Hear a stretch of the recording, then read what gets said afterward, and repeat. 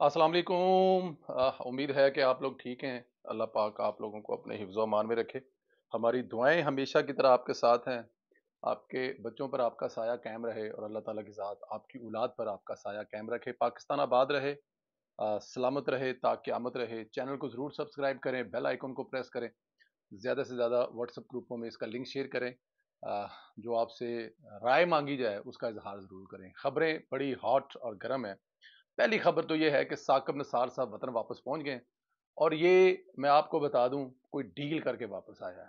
بلکہ اس کو اگر یہ کہا جائے نا کہ وعدہ معاف گواہ بن کے آیا ہے، تو اس میں کوئی شک نہیں ہوگا، کیونکہ ثاقب نثار ان حالات میں واپس آ سکتا ہی نہیں ہے۔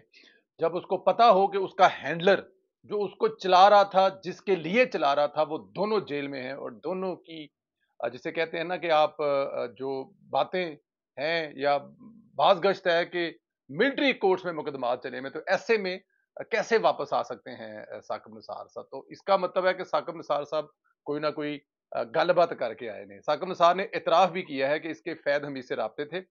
ثاقب نثار نے اعتراف کیا ہے کہ فیض حمید سے میرے رابطے تھے، وہ میرے پاس بھی آتے رہتے تھے اور واٹس ایپ پر پیغامات بھی بھجواتے رہتے تھے۔ اب وہ پیغامات کیا تھے؟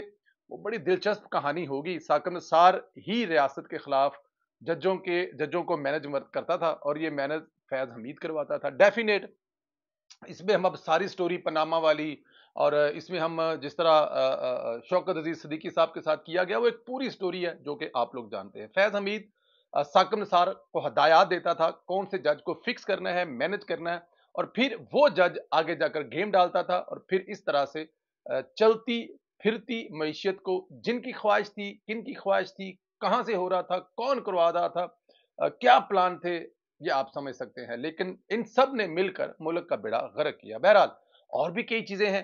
بہت کچھ کھلنا ہے۔ ساکر نصار تعاون کرنے کے لیے تیار ہو چکا ہے اور یہ تعاون عمران اور فیض حمید دونوں کو بہت مہنگا پڑنے والا ہے۔ یہ لکھ کے رکھ لیں۔ سر، یہ تانے بانے دیکھیں ساکم نصار کو مطلب ڈالر اکٹھے کرنے پہ لگا دیا کہ آپ جائیں اور ڈالر اکٹھے کریں۔ کس کے لیے؟ فنڈ کے لیے۔ کس فنڈ کے لیے؟ کہ ہم نے ڈیم بنانا ہے۔ وہ بھائی، ڈیم سے آپ کا کیا تعلق ہے یار؟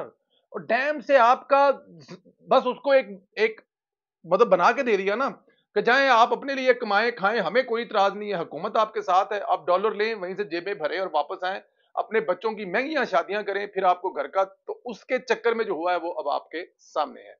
عمران خان کی چیخیں آسمان سے باتیں کر رہی ہیں، مصوف نے آج شرط رکھ دی ہے کہ اگر فیض کو سزا دینی ہے تو باجوہ کو بھی دے۔ مجھے فیض کی گرفتاری سے کوئی فرق نہیں پڑتا، فیض کو بچانے کے لیے وہ شرطیں رکھ رہا ہے کہ اگر آپ نے فیض کو دینی ہے، سزا تو دیں، لیکن ساتھ میں پھر باجوہ کو بھی دیں نا۔ باجوہ کو آپ کیوں معاف کر رہے ہیں؟ یہ عمران خان صاحب نے نیا کٹا کھول دیا ہے۔ عمران خان نے جنرل باجوہ کے ٹرائل کا مطالبہ کرتے ہوئے کہا کہ مجھے جنرل فیض سے ڈرایا جا رہا ہے۔ جنرل فیض جنرل باجوہ کی اجازت سے ملنا آتا تھا، جنرل باجوہ کو رپورٹ کرتا تھا۔ جنرل باجوہ کے بغیر فیض حمید کا ٹرائل بدنیتی پر ہے، وہ جنرل باجوہ کا ماتحت تھا۔ حالانکہ جھوٹ بول رہا ہے، کیونکہ D G I S I S I وزیر اعظم کے ماتحت ہوتا ہے اور عمران خان کے ماتحت جنرل فیض حمید تھا۔ یاد ہے جب فیض حمید کو تبدیل کیا گیا تھا تو عمران خان نے نئے ڈی جی آئی کے لیے کہا تھا کہ میں باس ہوں، نئے ڈی جی کا میں انٹرویو خود کروں گا۔ تو یہاں پر باجوہ صاحب والی بات عمران خان صاحب مکس کر کے آئی ڈونٹ نو کس کو بیوقوف بنانے کی کوشش کر رہے ہیں۔ جن کو بنانے کی کوشش کر رہے ہیں بیوقوف، ان کو بنانے کی ضرورت نہیں ہے، وہ یوتھی پہلے سے بیوقوف ہیں۔ اب مجھے ذرا یہ بتائیں کہ کیا عمران خان صاحب یہ نہیں کہا تھا؟ کہ یہ میرے ساتھ کام کر رہا ہے، اس کو سردیاں نکالنے دیں۔ کیونکہ سردیاں اگر نکال گئی تو حکومت چل جائے گی۔ یہ کون کہتا تھا؟ کس کے بارے میں کہتا تھا؟ کس سے کہتا تھا؟ جنرل باجوہ سے تو یہ کہتا تھا کہ میرے ساتھ اس کو کام کرنے دو۔ میں چاہتا ہوں کہ یہ سردیاں میرے ساتھ نکالے۔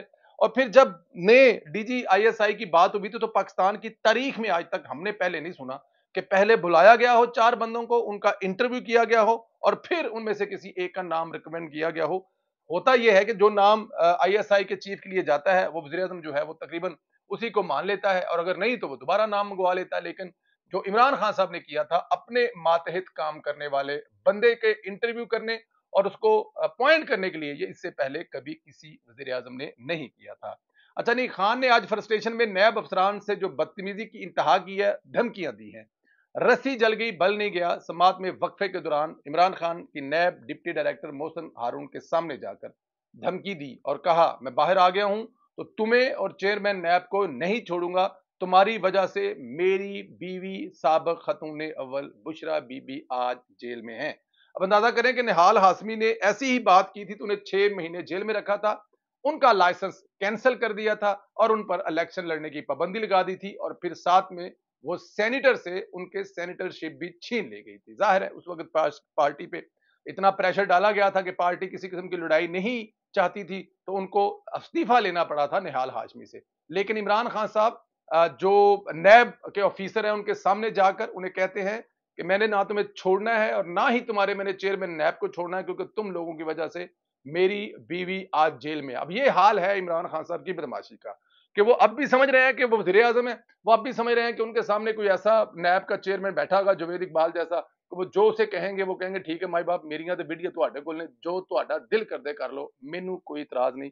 لیکن ایسا نہیں ہونے جا رہا یا لگتا نہیں کہ ایسا ہو۔ بٹ دیکھیں، اب کیا ہوتا ہے، کیونکہ خان صاحب فی الحال تو کیا کہتے ہیں، وہ سنڈے جیسے ہیں، جو شتر بے مہار ہے، لیکن ڈکیا ہوا ہے۔ ایک چنگی گل ہے۔ عمران خان نے نیب ترمیم کے حوالے سے بھی کیس پر ایکٹنگ کرتے ہوئے کہا کہ مجھے فرق نہیں پڑتا، میرے کیس چاہے ختم ہو جاتے ہیں، لیکن یہ فیصلہ نہیں ہونا چاہیے تھا۔ باہر لوگ خوشیاں منا رہے ہیں کہ حکومت کی نیب ترامیم بحال ہونے سے خان کے توشہ خانہ کے کیس جو ہیں وہ سارے ختم ہو جائیں گے۔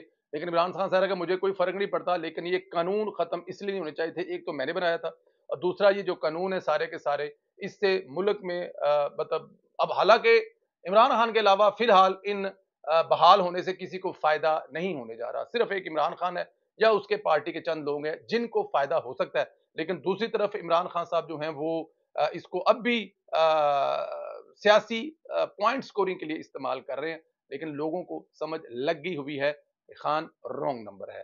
نیب ترمیم کا فیصلہ بڑا دلچسپ ہے، اس کو ڈسکس کرتے ہیں۔ سپریم کورٹ نے نیب ترمیم سے متعلق تفصیلی فیصلے میں کہا ہے کہ بہت سی ترمیم کے ممار مسٹر نیازی ہیں۔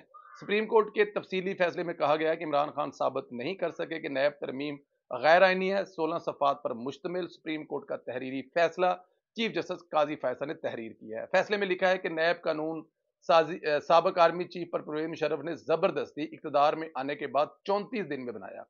پرویز مشرف نے آئینی جمہوری آرڈر کو باہر پھینکا۔ اپنے لیے قانون سازی کی پرویز مشرف نے اعلیٰ عدلیہ کے ان ججز کو ہٹایا جنہوں نے غیر آئینی اقدام کی توسیع نہیں کی۔ سپریم کورٹ کا سپریم کورٹ کا فیصلہ کہتا ہے کہ مشرف کے دور میں بنائے گئے قانون کے دیواچے میں لکھا گیا کہ نیب قانون کا مقصد کرپشن کا باب ہے۔ جن سیاستدانوں نے یا سیاسی جماعت نے پرویز مشرف کو جوائن کیا، انہیں بری کر دیا گیا۔ نیب قانون کا اصل مقصد سیاستدانوں کو سیاسی انتقام یا سیاسی انجینئر کرنا تھا۔ فیصلے میں لکھا گیا ہے کہ موجودہ مقدمے میں ترامیم غیر آئینی ہونے سے متعلق قائل نہیں ہو سکے۔ ان ترامیم میں بہت ساری ترامیم کے ممار، مسٹر نیازی عمران خان خود تھے۔ مسٹر نیازی نے نیک نیتی سے درخواست دائر نہیں کی اور مسٹر نیازی کی درخواست سپریم کورٹ میں قابل سماعت ہی نہیں تھی۔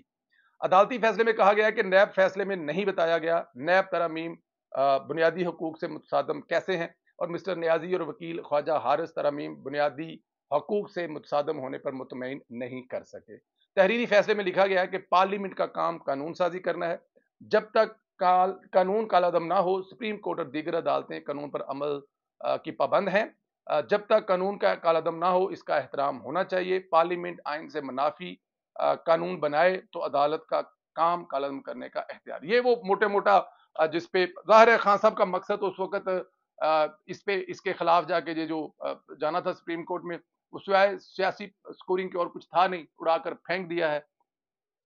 نیب ترامیم تھی کیا حکومت نے کیسے نیب کا انتقامی سلسلہ ختم کیا تھا، جسے عمران خان نے اپنے دور میں سیاست دالوں میں جیلوں میں ڈالنے کے لیے استعمال کیا تھا۔ سن لیں، نیب ترمیم میں بہت ساری معاملات نیب کے دائرہ اختیار سے نکالے گئے تھے۔ نیب ترمیم کو قومی احتساب ordinance one nine nine nine کے آغاز سے نافذ قرار دیا گیا۔ نیب ترامیم کے تحت نیب پچاس کروڑ سے کم معاملات کی تحقیقات نہیں کر سکتا۔ سو سے زیادہ متاثرین پر دھوکہ دہی کی مقدمے کی تحقیقات کر سکتا ہے۔ زیادہ سے زیادہ چودہ دن کا ریمانڈ بعد میں تیس دن تک بڑھایا جا سکتا ہے۔ نیب، وفاقی، صوبائی یا مقامی ٹیکس معاملات پر کارروائی نہیں کر سکتا۔ ریگولیٹری اداروں کو نیب کے دائرہ اختیاری سے نکال دیا تھا۔ اب یہاں پہ جو لوگوں کو تنگ کیا جاتا تھا، کسی بھی فیکٹری میں اور کسی بھی جا کر وہاں پر ٹیکس مطلب بہت ساری چیزیں تھیں جس سے نکالا گیا تھا کہ عام لوگ اس سے ڈسٹرب نہ ہوں۔ چوری نثار صاحبہ کی ہمشیرہ کچھ دن پہلے جو ہے وہ وفات پا گئی تھی ان للہ و راجعون۔ شریف خاندان کا وطیرہ ہے کہ ان کی جو دشمنیاں ہیں سیاسی، وہ اپنی جگہ پہ ہیں۔ لیکن جب کسی پہ کچھ اس قسم کا برا ٹائم آتا ہے تو وہ اس کے گھر پہ ضرور جاتے ہیں۔ چاہے وہ چودھری برادران کی جب فوتگی ہوئی تھی تب، یا پھر آج وزیر اعظم صاحب جو ہیں، چوری نثار صاحب کے درینہ دوست اور ساتھی بھی ہیں، ان کے گھر پر گئے ہیں۔ اور میرے خیال میں یہ ایک بہت بڑی بات ہے کہ سیاسی دشمنیاں سیاست میں رہنے چاہیے اس میں گھر فیملی اور خاندان نہیں ہونی چاہیے، یہ بہت اچھی بات ہے۔ عمران خان صاحب اور جنرل فیض حمید کے لیے کتنا خطرناک ہے۔ اگر ثاقب نثار صاحب جو ہیں، وہ گواہ بن جاتے ہیں ان دونوں کے خلاف۔ کیونکہ کرنے کرانے والے سب کچھ وہی تھے۔ انہوں نے تمام فیصلے کیے ہوئے ہیں، جن کی وجہ سے ملک کا جن حالات میں اس پہ رائے کا اظہار ضرور کریں۔ چینل کو ضرور سبسکرائب کریں، بیل آئیکن کو پریس کریں، زیادہ سے زیادہ واٹس اپ گروپوں میں شیئر کریں۔ انشاءاللہ آج رات بڑا دھماکے دار پروگرام ہے، بتاؤں گا نہیں۔ بہت مزے کا پروگرام ہے۔ اپنا خیال رکھے اجازت دیں۔ خدا حافظ۔